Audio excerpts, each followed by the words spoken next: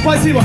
Спасибо большое, Рогачев. Мы, мы уже неделю с вами, мы вам не надоели. Спасибо, что пришли и нас здесь поддержать. Поэтому постараемся вам доказать, что мы не зря для вас стараемся. Только давайте повеселее, пожалуйста. Ну что ж, самым красивым женщинам Рогачевщины. Женщина-вишня в самом соку